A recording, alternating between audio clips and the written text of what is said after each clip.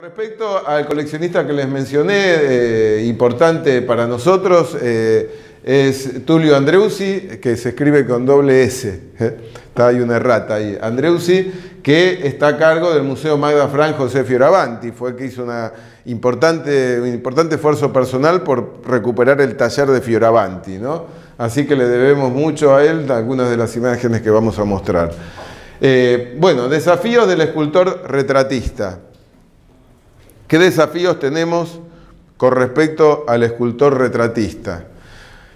Bueno, el principal desafío en el siglo XX es la identidad física, porque ya estamos en la era de la fotografía, de manera tal que en la era de la fotografía eh, hay mayores controversias cuando un artista representa un prócer o una personalidad, porque cuando no existía la fotografía había más vuelo para la imaginación, ya lo hemos visto en retratos como como de Belgrano, como de San Martín Joven, que todavía no existía el daguerrotipo. Cuando aparece la fotografía hay un desafío muy importante para el escultor, o se pone a competir con la fotografía o se desprende de esa competencia de la fotografía. Entonces lo que ha intentado Fioravanti es no competir con la fotografía, sino mostrar otro rostro del homenajeado, que es ese retrato esencialista que trata de de reflejar, ¿no? donde no buscamos un realismo al estilo eh, romano, un, retrato de tipo realista, naturalista, sino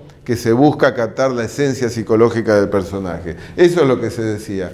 Y si hiciéramos un itinerario de cómo fueron evolucionando los monumentos públicos, vamos a ver del simbolismo de Egipto y Mesopotamia, la belleza idealizada griega, haciendo un breve repaso, ¿no? De la historia de la escultura monumental, al realismo que se ha dado en las columnas o en los arcos conmemorativos romanos. Después la Edad Media se vuelve simbólica y se vuelve espiritual, se deja de lado el naturalismo, hasta que en el Renacimiento vuelve esa sensibilidad muy emparentada con la belleza idealizada de la Grecia clásica. En el barroco vuelve la influencia de la Grecia helenística en cuanto a expresión y dramatismo, el neoclasicismo de nuevo vuelve a la idealización eh, de la Grecia clásica, pero ya vamos a estar ingresando en la etapa de la revolución industrial, donde van a comenzar a proliferar los monumentos públicos, especialmente después de la Revolución Francesa, cuando la religión ya no va a ser exclusivamente el cristianismo, sino la religión va a ser cívica, ¿no? Conmemorar hechos históricos de las nuevas repúblicas. Entonces el neoclasicismo va a recuperar estéticamente la Grecia clásica, pero con ese enfoque que está, va a estar vinculado a homenajear a las historias de las nuevas repúblicas y con la ayuda de nuevas técnicas vinculadas a la revolución industrial. Bueno, después el romanticismo nos trae todo el eclecticismo propio que vimos en arquitectura, lo podríamos aplicar a la escultura monumental. Y cuando llega la obra de Fioravanti a principios del siglo XX, ya estamos en, estos escultores que venimos trabajando, que están a caballo entre esta tradición romántica del siglo XIX y la vanguardia del siglo XX. En ese espacio de transición que ubicamos a Bigatti, también lo podemos ubicar a Fioravanti, ¿no? En realidad, de algún modo, eran grandes competidores, algunos con más suerte o con éxito en los pliegos de licitación, como fue Fioravanti, eh, que ganó concursos que perdió Alfredo Bigatti, pero ambos compartían esta época, esta estética, esta eh, búsqueda de partir de la tradición del siglo XIX, pero en busca de nuevos horizontes más vinculados a la vanguardia. Entonces están en esa intersección, en esa transición. Bueno, los formatos utilizados por Fioravanti, este, yo también les preparé un listado muy sencillo, ¿no? Vamos a ver esculturas de interior en su etapa de aprendizaje, familiares, después vienen los grandes monumentos. Y, Fioravanti también experimenta el relieve decorativo en su etapa de madurez. Vamos a ver algunos relieves decorativos de su etapa de madurez.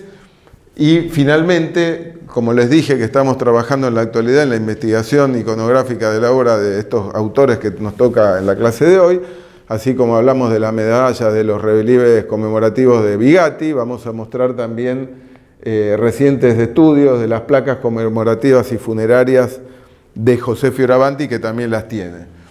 Eh, si clasificáramos a, los clientes por su origen, tuvo comitentes públicos, fundamentalmente el Estado, y también privados, porque vamos a ver eh, interesantes ejemplos de estatuaria y de relieves en paliers de edificios, ¿no? Eh, en colecciones privadas. Entonces, eh, esto es el, digamos, más o menos el preview de lo que vamos a hablar de la obra de Fioravanti. Podemos decir, para cerrar esta introducción breve, que tuvo una visión clásica romántica en su etapa formativa, con trabajos como Mujer con Libro, que es este que acabo de mostrar y que ustedes pueden ver eh, la obra original en, el, en, este, la terraza del Museo Nacional de Bellas Artes.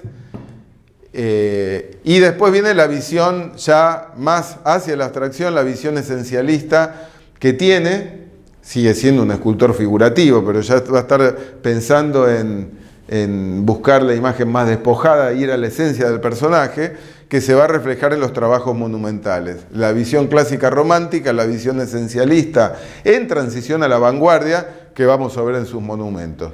Digamos que esta es la brevísima introducción que quería mencionarles antes de empezar a recorrer ¿no? la obra de José Fioravanti puntualmente y vamos a empezar en el próximo video viendo sus trabajos como retratista y luego como monumentalista.